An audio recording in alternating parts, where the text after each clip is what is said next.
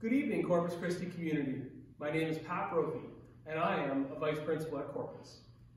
My name is Karen Bullhauer, and I'm also a Vice Principal at Corpus. We are excited to welcome you to our virtual graduation ceremony for the class of 2020. We would like to begin by asking you to join us in the sign of our faith while we pray for our graduating students. In the name of the Father, the Son, and the Holy Spirit. Good and gracious God, we give you thanks and we praise you, even during these days of uncertainty and challenge. We have heard you say to the disciples time and again, do not be afraid. Let us hear you speak these words to us. We entrust the graduating class of 2020 to your care and mercy.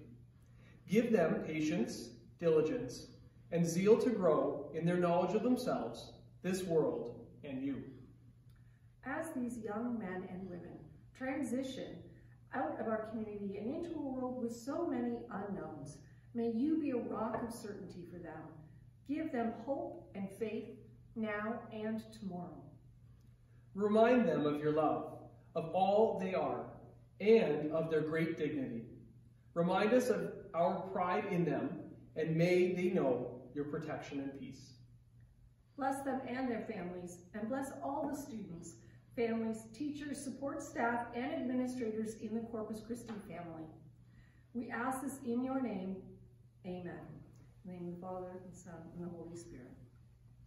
It is with great pleasure that I now introduce a member of our graduation class, Kiara Bailey, and invite her to lead us in the national anthem.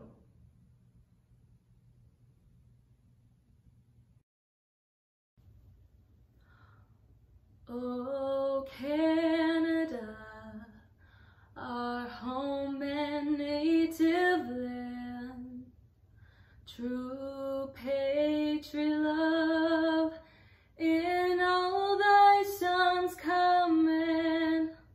With glowing hearts we see thee rise, the true north strong. From far and wide, oh Canada, we stand on guard for thee. God, keep our land glorious and free. Oh Canada, we stand on guard for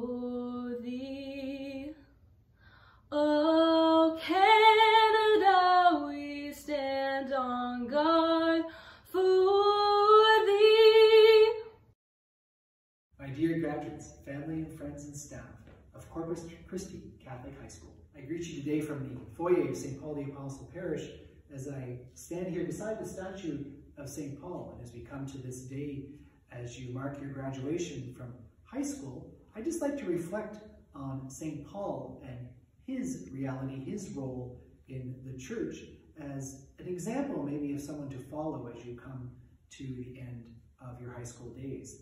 Because who was St. Paul? St. Paul, in his day, was a privileged member of his society. He was well educated, he was traveled, and he was a Roman citizen. As a Roman citizen, he had rights and privileges that a lot of other people did not have. And so he had a real privileged position in his society, in the world in which he lived. But then the Lord Jesus called him. On the road to Damascus, he was struck with a vision. And in that vision, he was thrown to the ground and made blind. When he rose, he was led to Damascus, where he encountered the first Christian community. And the path for his life changed radically. It became a very different path. He was called by the Lord to evangelize, to spread the gospel, to journey throughout the Roman Empire, founding Christian communities, founding churches. And ultimately, St. Paul had to suffer for the Lord Jesus. We come in these days of the pandemic, um, and you're not able to gather with your family and friends, with your teachers, to celebrate your graduation, to celebrate this momentous milestone in your life. But the Lord is still calling you to serve Him. The Lord is still calling you to journey with him and to journey in a very, very different way. To journey with great confidence in God's mercy and grace during these troubled days. Not only in the days of the pandemic, but also as we see what's going on in the United States with the protests against racism. We see a certain glue in our society kind of falling apart, and these are very difficult and troubling days. But again, to go forward with hope, trust, and acknowledging that the Lord God will be with us. As I speak to you today, this is the first week of June, and we just finished the Easter season. During the Easter season, our reading for Mass, the first reading for Mass, most often comes from the Acts of the Apostles. The Acts of the Apostles speaks of the life of the early church. It follows the life of Peter and the other apostles, and the later half of the Acts speaks about St. Paul principally. The Acts of the Apostles ends with St. Paul coming to Rome. And it says that despite the fact that he is under arrest and imprisoned, that he is not impeded in his work. He's not impeded in announcing the good news, announcing and spreading the gospel of Jesus. He's not impeded in his work as a preacher. But we know what happened to St. Paul in Rome. He was imprisoned. He was tortured. He was martyred. He died for the Lord Jesus. In a certain sense, we can say that the writer of the Acts of the Apostles maybe lied to us a little bit. He was impeded, but not his mission. His mission was still there despite what he had to go through prison, torture, and martyrdom. Despite those things, his work was completed. What God asked him to do was done. So, my dear young people, have courage. That despite the fact that you have to go through a certain amount of suffering, pain, and anguish, that your work will not be impeded. Have hope that your mission can be accomplished no matter what. The Lord is with you, and St. Paul can give us an example. May he pray for us. I'd just like to kind of conclude today with um, a prayer, the prayer of St. Francis of Assisi, in which he, St. Francis asked the Lord to be with him, that despite, so we say, the negative things, that we can always be a positive influence. Lord, make me an instrument of your peace. Where there is hatred, let me sow love. Where there is injury, pardon. Where there is doubt, faith. Where there is despair, hope. Where there is darkness, light. Where there is sadness, joy. O divine Master, grant that I may not so much seek to be consoled as to console, to be understood as to understand, to be loved as to love. For it is giving that we receive, it is in pardoning that we are pardoned, and it is dying that we are born to eternal life. Amen. My dear friends, may the Lord bless you and keep you. May he let his face shine upon you and show, his, show you his mercy. May he turn his countenance towards you and give you his peace. And may Almighty God bless you and keep you always, the Father, the Son, and the Holy Spirit. God bless everyone. Congratulations to the class of 2020. You made it. It will certainly be a year to remember. And even though you benefited from many prayers, reflections, testimonies at our school, I encourage you to keep discovering the presence of God in your lives. No matter what others say or think. Finding God in your life means becoming more fully yourself. Becoming what Lord wished to create and not photocopying somebody else. You are precious and the mark you leave at our Corpus Christi school community is unique because God has created you unique. As you start your own life path. May the Holy Spirit guide you safe. May you always find the presence of God in whatever you do. Amen. Congratulations once again. Good evening, Corpus Christi class of 2020. I appreciate the opportunity to say a few words to you tonight. To our parents and guardians, thank you for entrusting your sons and daughters to our care here at Corpus for the last four or five years.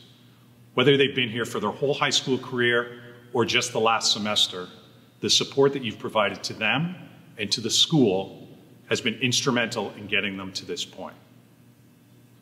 To our staff here at Corpus, I want to sincerely thank you for your hard work and dedication to our students. Particularly this year in a very challenging environment, you've been able to maintain a level of excellence in Catholic education for which this school has become known. And finally, to our graduates.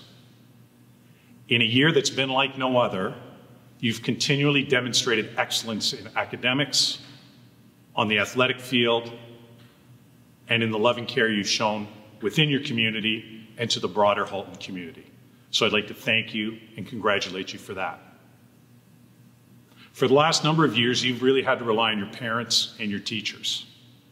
In the future, we need to rely on you.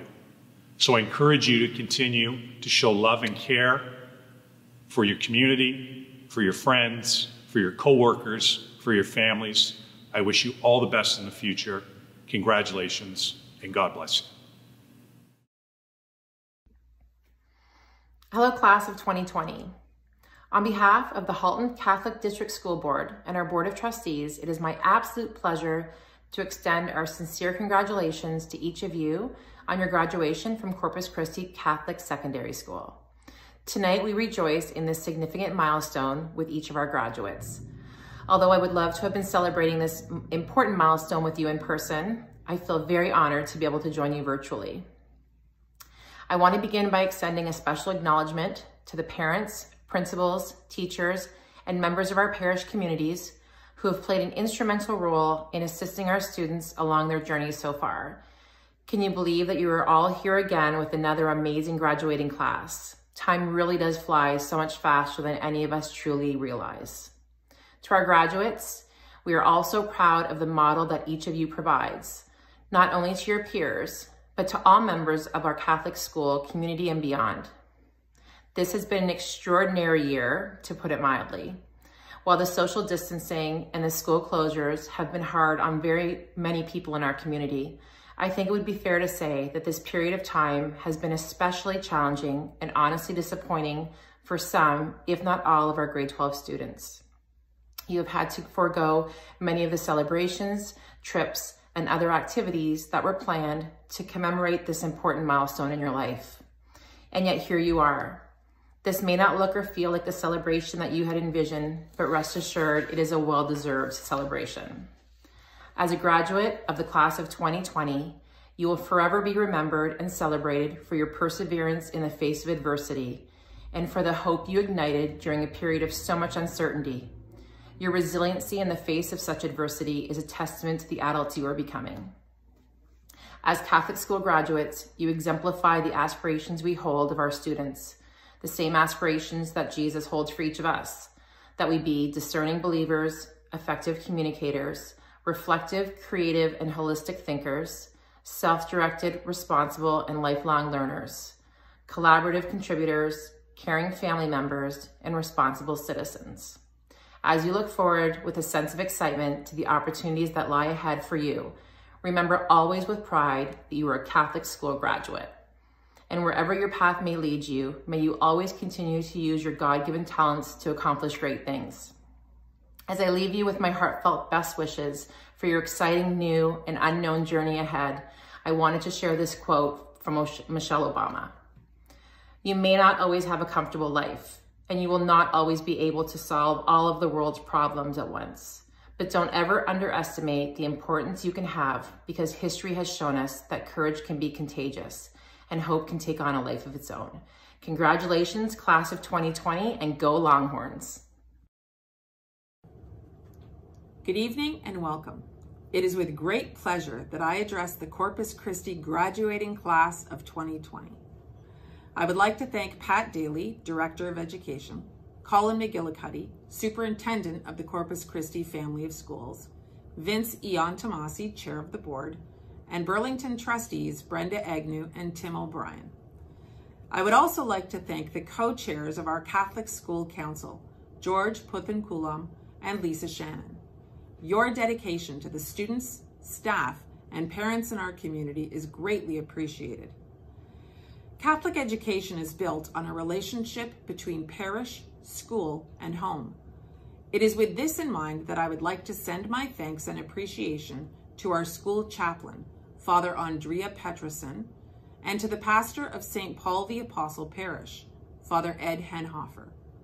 To the Corpus Christi Catholic Secondary School staff, thank you for your hard work, for your passion, and for your commitment to our students. And thank you for inspiring and motivating each and every one of them to reach their full God-given potential. In particular, I would like to note that one of our staff members has reached an amazing milestone of her own this year, that wonderful thing called retirement. We wish Mrs. Catherine O'Brien all the best in years to come after a long and rewarding career in education. I would also like to acknowledge a recent loss in our community. Joe Regani was a humble hero in our school. His calm composure in the face of the struggles of staff and students was both admirable and comforting.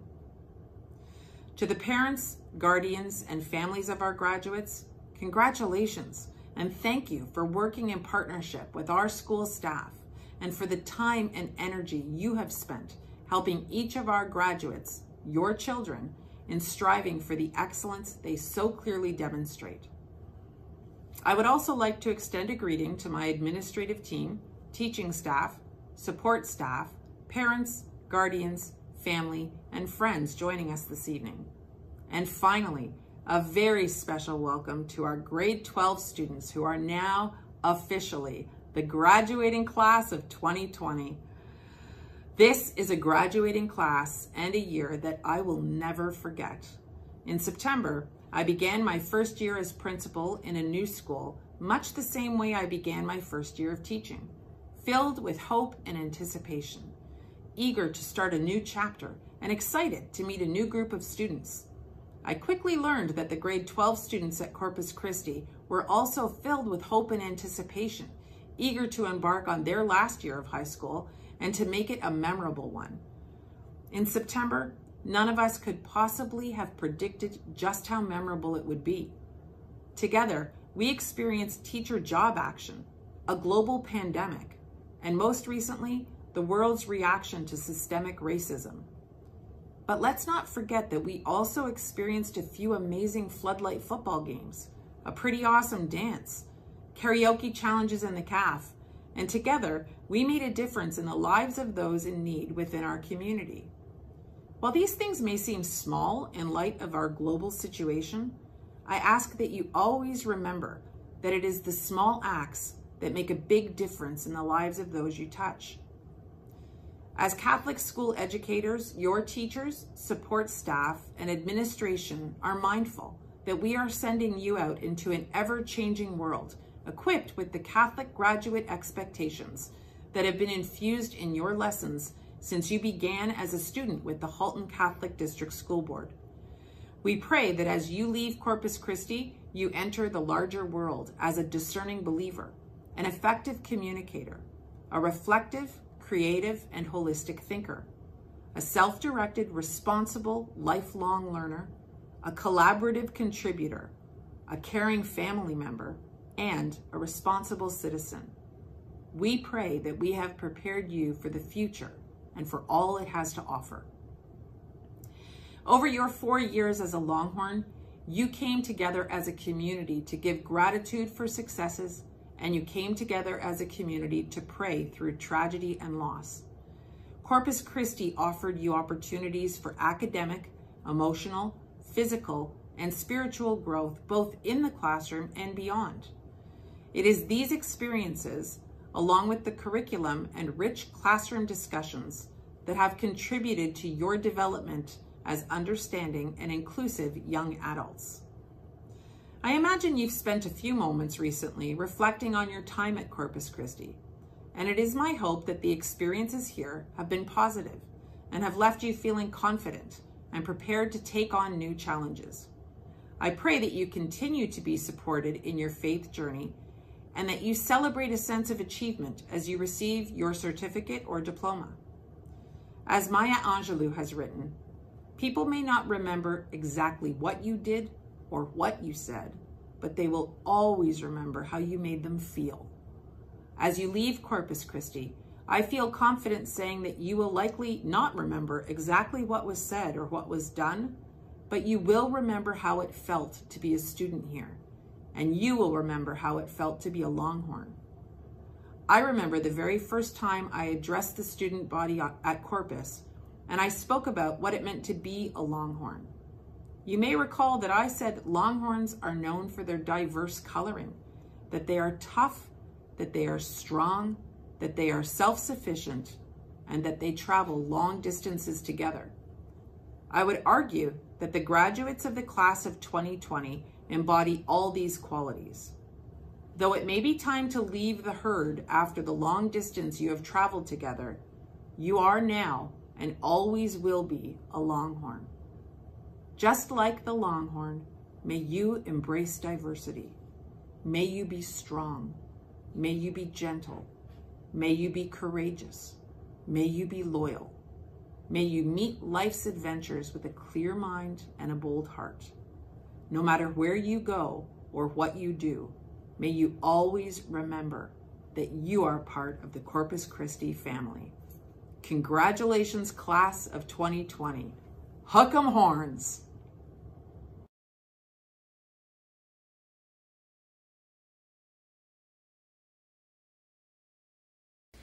Good evening, friends, trustees, our family of schools, Superintendent Colin McGillicuddy, Corpus Christi School Council representatives, our principal, Mrs. Morrow, our vice principal, Miss Bullhauer, vice principal, Mr. Brophy, Father Andre, Corpus Christi staff, parents, family members, and most importantly, our fellow graduates of 2020. Woohoo! Can you believe it? We made it. We graduated. Today marks the exceedingly important day of our senior graduation. It marks the day our teenage experiences come to a memorable end, and it symbolizes the greatest moments of our high school chapter finally coming to an extraordinary close. But the thing is, high school wasn't just composed of one chapter. Instead, it was a book with many different components, each chapter featuring a story that we wrote individually. Good times, bad times, and times none of us could ever have imagined happening. But without conflict in a story, there would be no plot. You see, each chapter of our high school experience has looked different, but has ultimately contributed to our spectacular finale and has brought us even closer together as a graduating class. Looking back on the past four years of high school, every single one of our chapters was a memorable one. Because that's who we are, class of 2020. We are memorable. And memorable is a word you never forget. I remember seeing many of you at our grade 9 orientation. We all were given those burnt orange and white t-shirts as we walked through the door truly feeling like a Longhorn for the first time. Soon-to-be grade 9 girls excited to walk the intimidating hallways of Corpus Christi, and soon-to-be grade 9 boys who were way too excited to use every last drop of their Axe cologne thinking it was some sort of girl magnet. I think they took the saying opposites attract way too literally. Thinking about orientation seems as if it was a lifetime ago, as we all have come so far and have grown so much since then. The funny thing is, despite change, growth, and all these times of uncertainty, the one thing I know for sure is that we first walked into Corpus's doors the same way we walked out of them, together. And together is a beautiful place to be. You see, graduation is a significant milestone in all of our lives. It is a time of celebration, commemoration, and it is a time of excitement for our future ahead. But before we move forward and take that first step into our new adult lives, Let's take a trip down memory lane into the wondrous chapters of our high school storybook, The Longhorns of 2020. And don't worry, there are no fees, prerequisites, or final averages required. Chapter 1, Let the Journey Begin.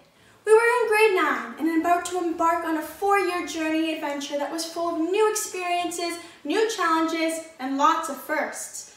Our first challenge was finding our classrooms, and our first experience was walking into the wrong one. Or at least that's how it went for me.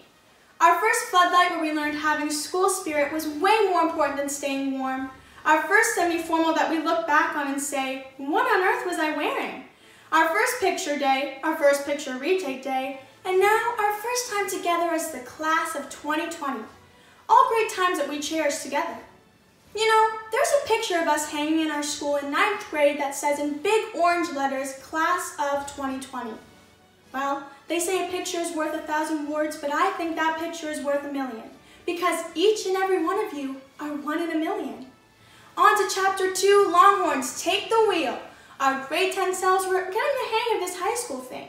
We had one year seniority, we became VIP members at Tim Hortons during lunch, and the school dance moves were finally getting better. However, I think if there was one specific thing I can remember about grade 10, it wasn't actually a thing at all. Instead, it was one specific question. Did you get your G1 yet? I swear, you give a teenager a little bit of freedom to put their hands on a steering wheel, oh boy, they'll take it right away. But learning to drive a car was not just an exciting moment in our teenage lives, but it was us moving one step closer to becoming the leaders of our adult ones. Grade 10 had us in a place where we were truly setting the GPS course for our life ahead. Navigating our way through grade 10 biology with a frog dissection that seemed to last forever. Navigating our way into the haunted houses during Halloween where high-pitched screams could be heard from afar. And navigating our way through Corpus hallways all wearing the trendy fashion of Corpus Christi's uniform. Let me just say, we are one attractive class. Whether we knew it or not, placing our hands at 10 and 2 on the steering wheel was us preparing to steer our ways into the people we are today. After all, in life there will always be bumpy roads ahead. But if we keep that seatbelt buckled in and stay focused and determined, I have no doubt that we will reach our final destination. Deep in the heart of the Corpus jungle titles Chapter 3 of our Corpus Christi novel, we were in grade 11. We were the juniors of the school, and we were living our high school life to the fullest. Some people worried about marks now showing up on their transcript, and other people worried about marks still showing up in their parents' email. But grade 11 was not just about the marks and academics. It was about friends and personal growth. It was about silly little things we did as juniors and we'll look back on and laugh about. It was a year of Halton and OFSAA champions making Longhorn Nation proud alpine, volleyball, soccer, football, basketball, baseball, lacrosse, track, whoa, you name it. We are champions. It was about the artistic touch of musical talent and visual art expertise that always captivated our eyes when we walked down that hallway. High school was about you. It was about me, and it was about us. And every single one of us will always be a part of the Corpus Christi jungle. Before I move on to our final and most exciting chapter, I'd like to take a moment to thank everyone who truly made our high school narrative possible. Our achievements, whether they were academic or not, wouldn't have been possible without the teachers who offered a helping hand, support, and guidance. Teachers, your work truly went far beyond the textbook, as you all offered us security, direction, friendship, and your constant faith within us. Just as Jesus taught his disciples to have strong faith throughout their lives, our teachers have taught us to have strong faith in our dreams and always inspire us to keep moving forward. They have also inspired me to follow my dreams of becoming a teacher in hopes of sharing the same motivation with my future students. Our storybook would also not have been possible without our brilliant parents, guardians, and families who continue to believe in our goals and dreams. They are the people who have stood by us during these past four years, always offering a caring hand in times of need. Their endless love has made us all into the individuals we are today, and they have truly embodied the definition of what it means to be amazing supporters. That being said, I'd like to say a special thank you to my mom and dad, Antonio and Susanna. I am so grateful for everything you have taught me, and I will continue to cherish you as my parents forever and always. Once again, thank you everyone. You are all truly magnificent. Lastly, but not least, we have made it to our victorious final chapter of our high school storybook, Chapter 4, Longhorns, Take It Home for the Win. And man, what a year it was. Two floodlight football games where Corpus Christi's winning streak was not broken once, and we stood by it all. We cheered, we chanted, we came in full Corpus spirit. We bleed orange and white, we bleed victory. Man, those boys were so determined that I think they even made Tom Brady look bad. Well, now that I'm thinking about it, the football team even walked around in bubblegum bank heels for an entire day. Wow, Kim Kardashian's got nothing on them. During the Christmas season, our most fabulous Longhorn talent was displayed in our C4 Winter Talent Show, which was hosted by four of Corpus's most adored senior boys. Suits, candy canes, and cheesy jokes never went together so nicely as they did on that stage. Speaking of talent, we watched many karaoke performances in our cafeteria during lunches that truly captured the attention of everyone. I mean, I'm no expert, but I'm sure Simon Cowell would say, it's a yes from me. We had amazing events run by our very own student council and AV teams. We finally ex experienced having prime dominance over the student parking lot. However, grade 12 was also full of our post-secondary stresses. Logarithmic functions, quantum physics, organic chemistry, and for all you bio people, what on earth is a Calvin cycle? The only Calvin I know is Klein. Now we are here, and look how far we have come. No one could ever have predicted that March 13th, 2020, the last Friday before March break, would be the last time we set foot on Corpus's grounds as a senior student, and more importantly, as a graduate of 2020. This was a plot twist in our storybook that not even us as the authors saw coming. But just like books, life itself was made to have plot twists. It doesn't matter what story you are writing for yourself, life happens. It's inevitable. But the class of 2020 does not fall down when these times of challenge occur. We rise up with our spirit, with our strength, and with our tenacity. Although our grade 12 year got cut a little short, we still have had the most amazing high school experience. But our experience has been one that will forever stand out from the rest. But that's just like our grade. We stand out. Regardless of the way we are graduating, where we will be next year, or what our lives will look like for the next little while, we are resilient. We are brave. I know this because I know us. We don't wait for opportunities to happen. We create them. We don't tell people our dreams. We show them. We see impossible as possible, and we got that longhorn hustle. As I bring this address to a close, I must say that I've never been someone who liked endings. The last day of a great summer, the last bite of chocolate cake, and now the closing chapter to our high school storybook we cherish so much. But this isn't goodbye, and this isn't our ending. This is a beginning, a beginning to our future. While this grade 12 chapter is coming to a close, you are not done writing. This party, part of the story is told, but you are not done telling. I truly cherish the moments we have all spent together, and I will keep them near and dear to my heart. I wish all of you the most brilliant futures and the most magnificent lives. Now go, pick up a pencil and begin writing your sequel. A new story that features so many more amazing chapters full of more amazing memories. Because that's who we are, class of 2020. We are memorable. And memorable, it's a word we never forget. Thank you so much.